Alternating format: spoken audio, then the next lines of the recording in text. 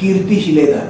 मराठी संगीत नाट्यसृष्टीला लाभलेलं एक अमूल्य देणगी असं मला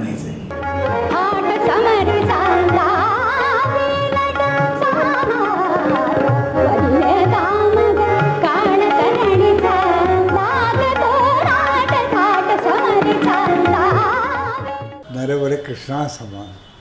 आणि त्याच्यावर एक एक ओळशी आहे. कितीक नृपती ते आले गेले.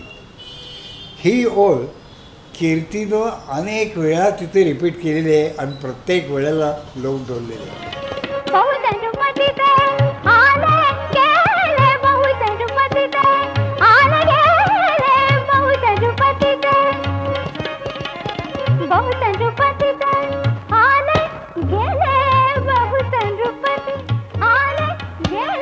कीर्तिशिलेदांच्या बाबतीत मला नेहमी असं जाणवतं की समकालीन रंगभूमी किंवा काळानुरूप बदलत गेलेली रंगभूमी याच्यावरच्या प्रत्येक नाटकांचा त्यांचा वेगळा स्वतःचा अभ्यास आहे.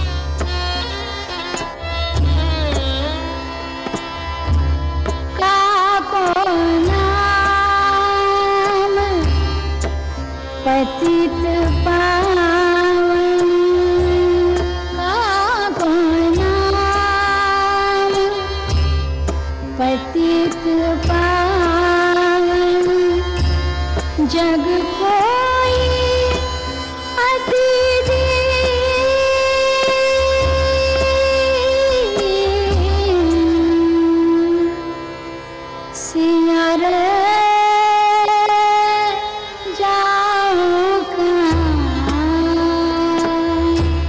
कीर्ती शिलेदारांना मराठी संगीत रंगभूमीचा चालता बोलता इतिहास म्हणण्यापेक्षा चालता बोलता ज्ञानकोश म्हटलं पाहिजे.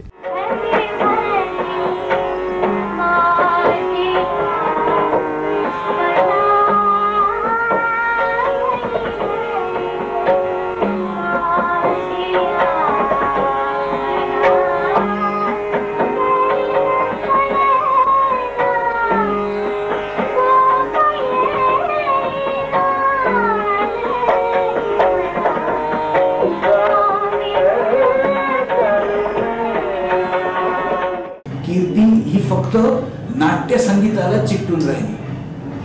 हे म्हणजे कितीतरी क्रेडिटेबल आहे. आणि त्यामुळे मराठी संगीत रंगभूमी ही जास्तीत जास्त टिकून राहायला मदत झाली असं मला वाटतं.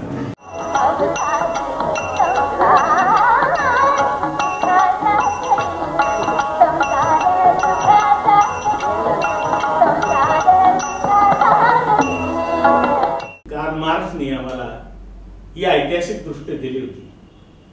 पण संतांच्याकडे सहृदयांतकरणाने बघण्याची दृष्टी कीर्तिताईंच्या त्या अभंगातून मला मिळाली. आणि तिच्या गाण्यानं संतांच्या अंतकरणातला विद्रोह आणि व्यवहारातली शरणागती काय असते हे समजलं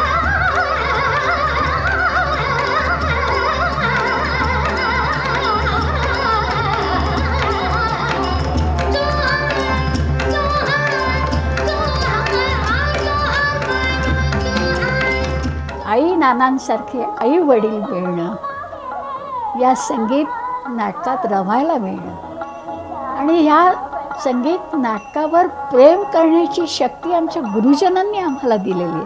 त्यात दत्ताराम बापू आहे आमचे अभ्यंकर बुवा आहे विद्याधर गोखले आहे किती नावं घेऊ या सगळ्या मंडळींची मला आठवण होते. आणि एक बस देवाकडे मी नेहमी हेच मागणं मागेन की असे गुरुजन असे माता पिता आणि असं संगीत नाटक जन्मोजन्मी आम्हाला लाभावं. सुखा